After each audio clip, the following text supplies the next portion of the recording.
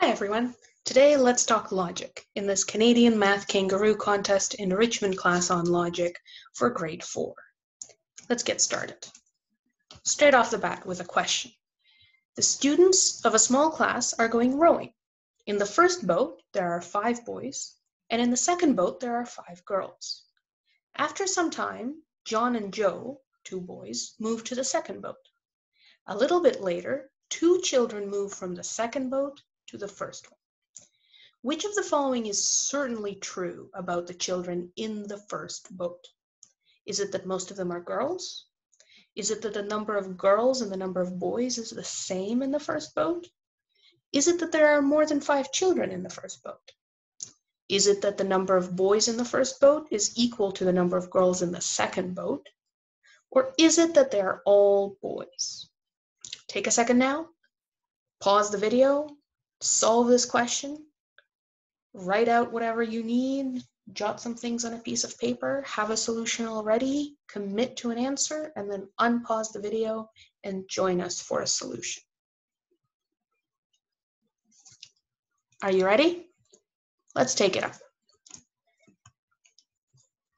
Here's the scenario as it started. In the first boat, there are five boys, and in the second boat, there are five girls. I'm going to draw this out in a table. Here are five nameless boys in the first boat and five nameless girls in the second boat. What happens next? After some time, John and Joe move to the second boat. The first boat now has three boys, and the second boat has five girls John, and Joe, the two boys who have moved. A little bit later, two children move from the second boat to the first one. Finally, some ambiguity, right? Here we have options. In fact, there are three possible scenarios that could be unfolding right this minute. I'm going to draw them on my little table here. Here they are. It could be that John and Joe decided, eh, I don't like this boat very much, and they moved back into boat one.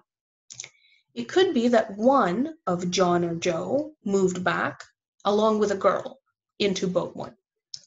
Or it could be that John and Joe stayed where they were and two girls have instead moved into boat one. So now some ambiguity resides. We have three bottom rows of my table representing three possible scenarios that are happening right now. We are asked what is certainly true about the children in the first boat, regardless of which of the three scenarios we're in. Is it that most of them are girls? No. It could be that um, we have five boys and no girls in the boat, or four boys, or three boys. Boys. Definitely not. Most of them are girls.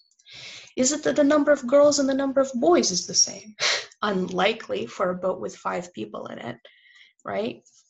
Again, not true. Is it that there are more than five children in the boat? Nope. Two moved back, two moved forward, still five in total. Is it that the number of boys is equal to the number of girls in the second boat? That's the most complicated one, so let's skip it for now. Or is it that they're all boys in boat one? Definitely not that one. So by the process of elimination, it's certainly looking like D, right? But let's try and parse this complicated sentence.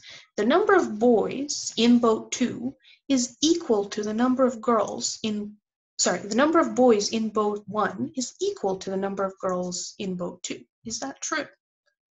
Yes, it is. And this is a beautiful aspect of this problem, right? We could have had five boys in boat one, five girls in boat two, four boys in boat one, one girl, four girls in boat two, and one of Joe or John. Or we could have had three boys in boat one, three girls in boat two. Notice I misspoke a little bit earlier there because, of course, this is equivalent to saying the number of girls in boat one is equal to the number of boys in boat two. You see this problem sometimes floating around. It's very pretty. We have this idea of symmetry, which we can use. You can use this in some card tricks, actually. Next question. Kelly, Richard, and Jocelyn are old classmates. During a recent gathering, they told each other about their occupations. Among them, there is a police officer, a clerk, and an engineer. Below are some hints about their occupations. We know Kelly is older than the police officer. Richard's age is not the same as the clerk's. And the clerk is younger than Jocelyn. Which of the following statements is true? Is it A, that Jocelyn is a police officer? B, that Richard is an engineer? C, that Kelly is not a clerk? D, that Jocelyn is an engineer? Or are none of the statements true? Take a second now, probably a couple of minutes, pause the video, draw out some charts, figure out some tables, come back to us with an answer for who Kelly, Richard, and Jocelyn might be in terms of occupations. And then hit unpause or play, and we'll take this up together. Are you ready? This is one of a very famous kinds of logic problems with occupations, and I quite enjoy doing them. Let's look at the hints one by one once again. Our first hint is that Kelly is older than the police officer. Right away, that implies that Kelly is not the police officer. She can't be older than herself. So I'm going to build a table where the columns are going to represent occupations, and in the rows for each person, I'm going to jot down their name only if they might belong to that occupation. And I may have to cross out names or erase names later on. So for now, Kelly can't be a police officer. She could still be a clerk or an engineer. Next, we have that Richard's age is not the same as the clerk's. Great, that means Richard can't be a clerk. Here we go. He could be a police officer, could be an engineer. Next, we see that the clerk is younger than Jocelyn. Well, that means that Jocelyn can't be the clerk either. So right away, we know who the clerk is. There's only one name in that entire column. The clerk must be Kelly. Kelly is the clerk. Great, we can erase her from the engineer column. What next? What else is it that we know? We know that Kelly is older than the police officer, and the clerk, who is Kelly, is younger than Jocelyn. So Kelly's the clerk, and Kelly is younger than Jocelyn, since the clerk is. What does that tell us? Well, we also know that Kelly is older than the police officer. And yet she is younger than Jocelyn. So Jocelyn can't be a police officer, which forces Richard to be a police officer and forces Jocelyn to be the engineer. Which of these statements is true? Once again, the answer is D. Jocelyn is an engineer. With those little bits of information, right? Just three simple sentences, we managed to parse this entire logic problem, crack it wide open. I love these puzzles. How about this one? Five people are in a line. Each of them is either a knight or a liar. A knight always tells the truth. A liar always lies. Duh. Everyone said something. Nobody stayed quiet. So the first four to speak said one after another, the next to speak is a liar. So imagine this. Five people are standing in line. First four speak up and they go, the next to speak is a liar. The next to speak is a liar.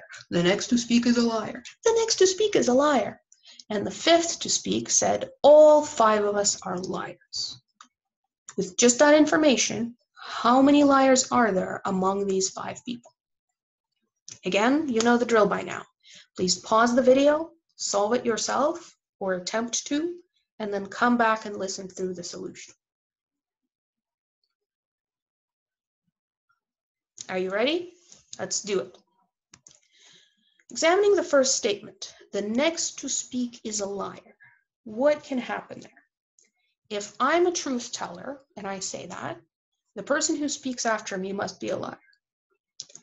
If I'm a liar and I say that, the next person to speak after me must be a truth teller or a knight, as we call them in this problem.